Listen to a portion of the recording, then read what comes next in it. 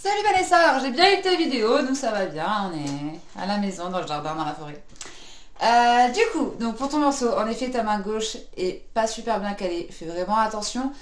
Euh, si tu veux, ce que je peux faire, c'est euh, noter les traits comme je te fais en cours et te renvoyer la, partition en photo. Ou sinon, regarde bien où sont les traits sur toute la première page qu'on avait vue ensemble. Et tu peux te les rajouter sur ta partition pour que ta main gauche tombe vraiment bien. Euh, n'hésite pas à jouer lentement, d'accord? Je pense que je te connais et tu dois accélérer tout le temps et ça doit t'énerver quand tu te trompes. Essaye de, de jouer lentement, de bien visualiser et souviens-toi, travaille bien mesure par mesure et une fois que tu as réussi les mesures, tu les enchaînes, etc., etc. Donc du coup pour le refrain, on avait vu...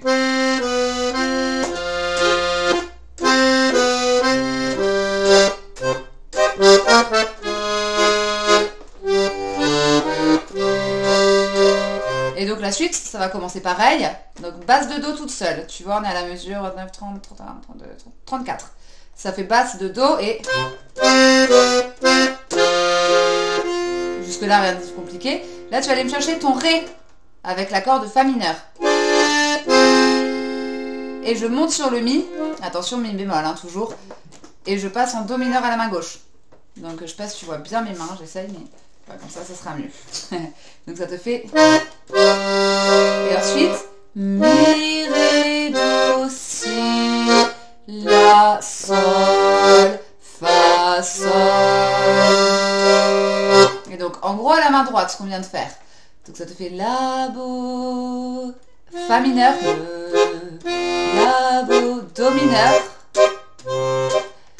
Fa mineur, Sol majeur, Do mineur. Et donc du coup,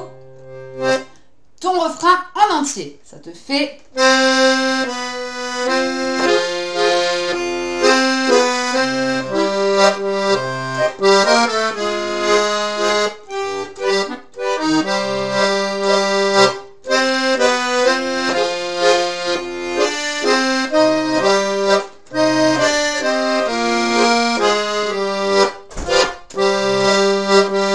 Et tu vois après, il y a le petit signe, la barre de reprise, et donc tu vas revenir à ton tout premier refrain. Donc tu reviens du début, donc ça te fait 1, 2, 3,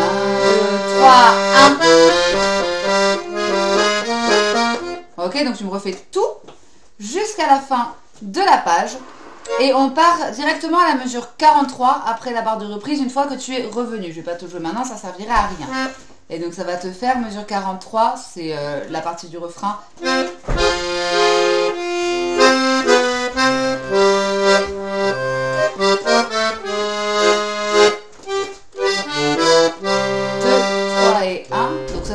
C'est exactement pareil. Et on passe à la page 37 et ça te fait... Attention, je monte.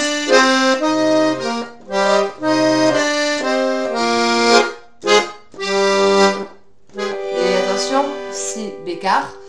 Et le final. Et donc après, en fait, on n'aura plus qu'à faire le final du morceau. Et, euh, qui accélère, qui accélère, qui accélère. Donc en gros, pour l'instant, je te demande de me faire première page en entier, deuxième page, tu vas à la barre de reprise, tu reviens, tu rejoues donc ton deuxième couplet, ton deuxième refrain, et après, tu me fais euh, le refrain final, entre guillemets, avant le final. Voilà, j'espère que tu as tout compris. Je suis désolée, à un moment, je me suis trompée, mais c'est que mon fils est rentré dans le bureau à ce moment-là, ça m'a un peu déconcentré. Euh, voilà, j'ai bien vu pour euh, la valse des monstres. On essaie de, finir au pire ce morceau, je pense qu'on n'en a pas pour longtemps. Et puis à partir du moment où pour toi c'est bon celui-ci, on refera euh, la valse des monstres avec plaisir. Voilà, voilà, moi j'espère que tout va bien. Et puis tu m'envoies une autre vidéo.